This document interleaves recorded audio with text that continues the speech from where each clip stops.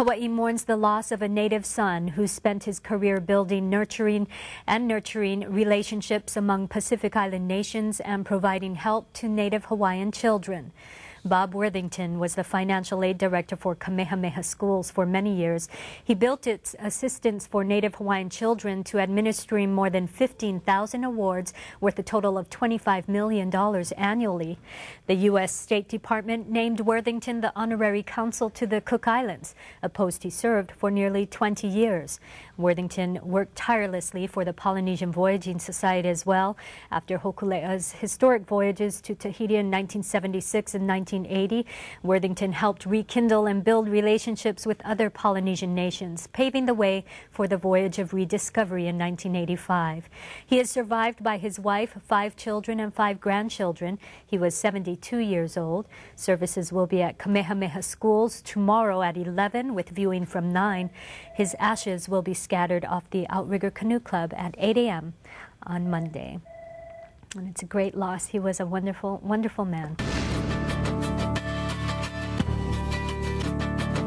Well, he served on the executive board of the Polynesian Voyaging Society, was an ambassador to the South Pacific, and worked at Kamehameha Schools for 29 years. Bob Worthington passed away last week at the age of 72.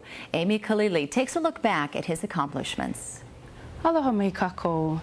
He mea nui e pai o ana no ka pono mau o ka mauli o la Hawaii. He elele kālai aina hia pai ole o na po ai paki pika hema. A he kako o lua ole ma hope o ka imina awa o iwi Hawaii. E ia no hoi, ko a hai o lelo ola ke ho o mana o aku nei me ke aloha pau ma ko nui, ia Bob Wellington.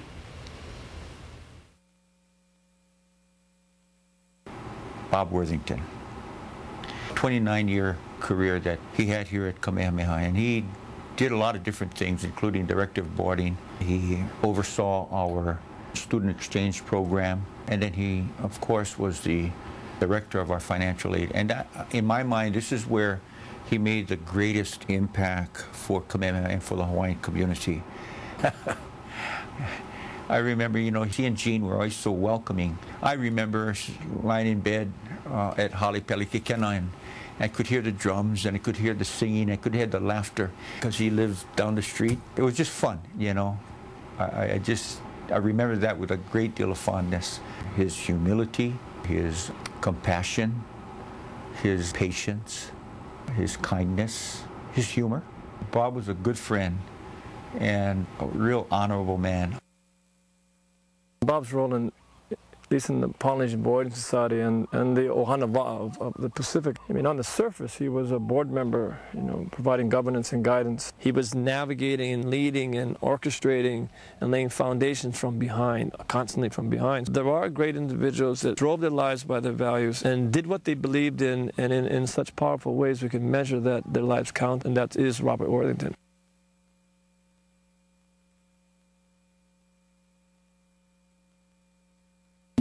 Coming up tomorrow, a memorial will be held for Bob Worthington at Kamehameha Schools Chapel from 9 to 11 a.m.